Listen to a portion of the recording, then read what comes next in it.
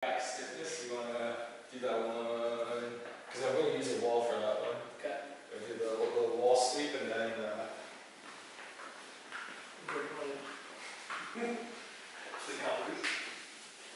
the.